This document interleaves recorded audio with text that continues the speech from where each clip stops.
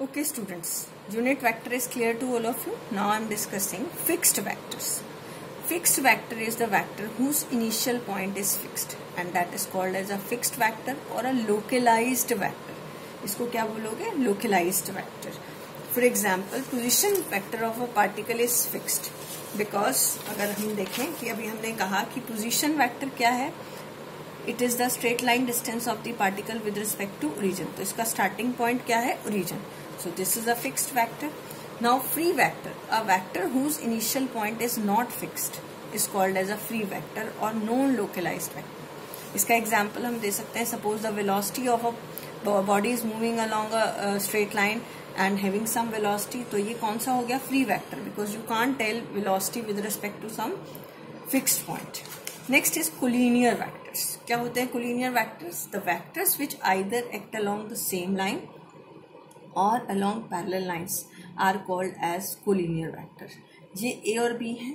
ये दोनों कैसे एक्ट हो? अलोंग द सेम लाइन ठीक है? या फिर आप इसको क्या दिखा दो? अलोंग टू पैरेलल लाइंस तो ये क्या हो जाएँगे? कोलिनियर इसमें भी आपके दो तरह के होते हैं। लाइक और पैरेलल वेक्टर अनलाइक और anti parallel vector anti parallel vectors का मतलब क्या है? See anti like vectors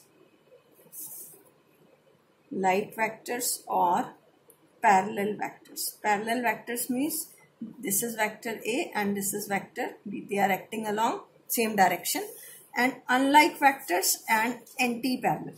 Unlike vectors and anti-parallel vectors. ये क्या होंगे दिस इज़ वेक्टर ए और ये क्या है vector B student whenever we have to find the angle between the two vectors join their tails इनकी टेल्स को join करो। तो ये ए वेक्टर है और ये आपका कहाँ आएगा? बी वेक्टर तो अब दोनों में एंगल देखो कितना हो गया? वन एटी कितना हो गया?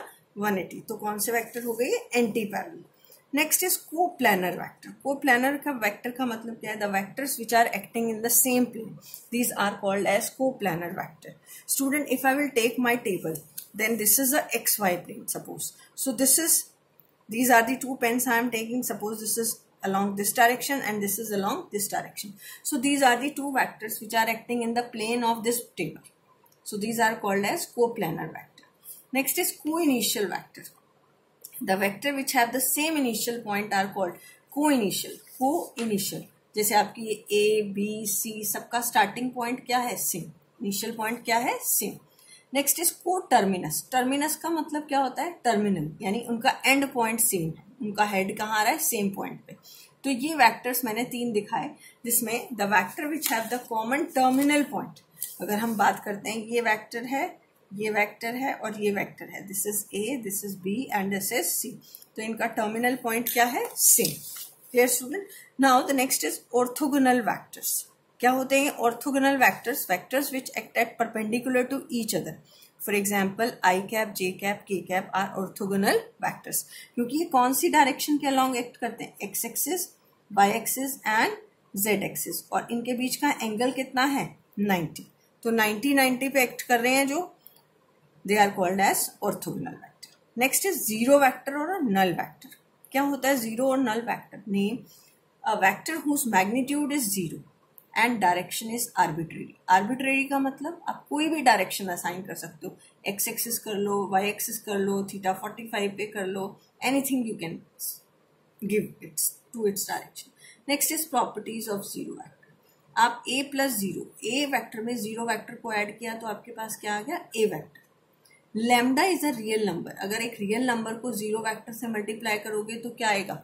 Zero vector zero multiply with the vector is also a zero, ठीक है?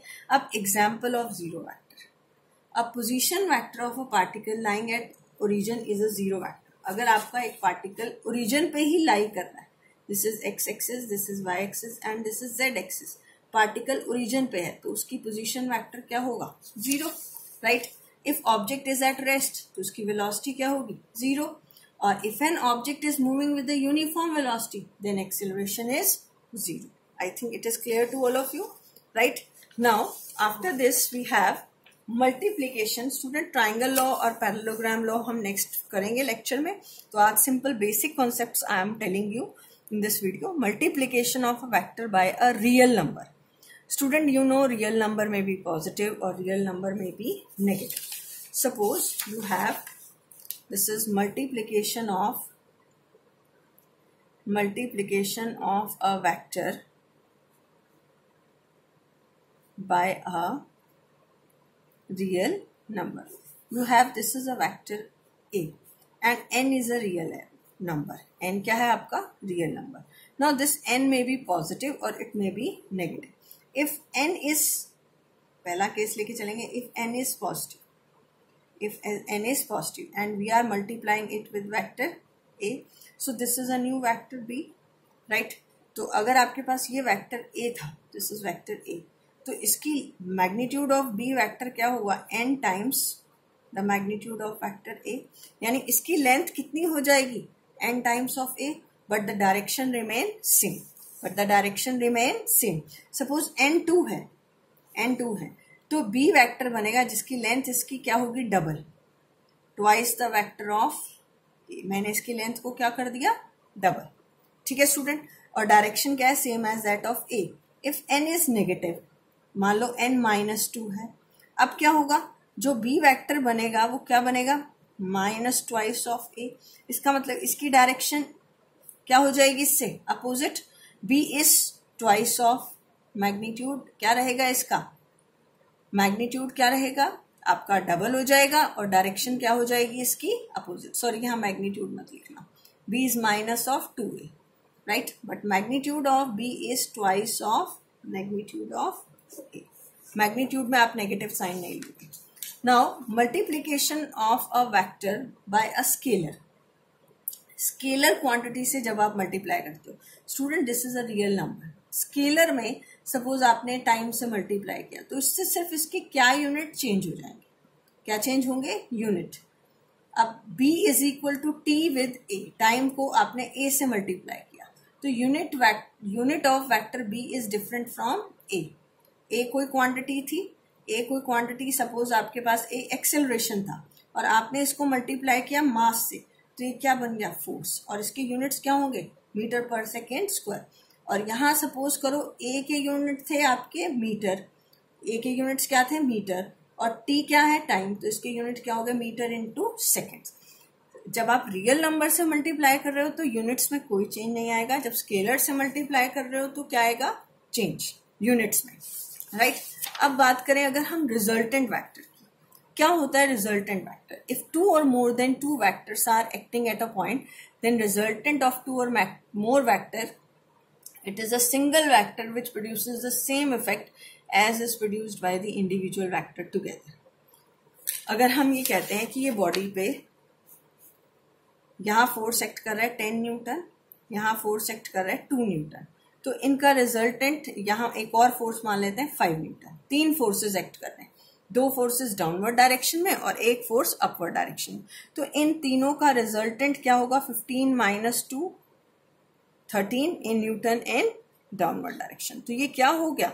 ये रिजल्टेंट वैक्टर हो गया। क्या हो गया? ये रिजल्टेंट तो ये रिजल्टेंट वैक्टर एक सिंगल वैक्टर है जो प्रोड्यूस कर रहा है same effect as is produced by these three तीनों मिलके जो इफ़ेक्ट प्रोड्यूस कर रहे हैं, उसका इफ़ेक्ट ये सिंगल वैक्टर प्रोड्यूस कर रहे हैं। Is it clear, student? Now, in the next video, i will, in the next lecture, tomorrow, i will discuss the vector addition okay? Thank you. Have a nice day.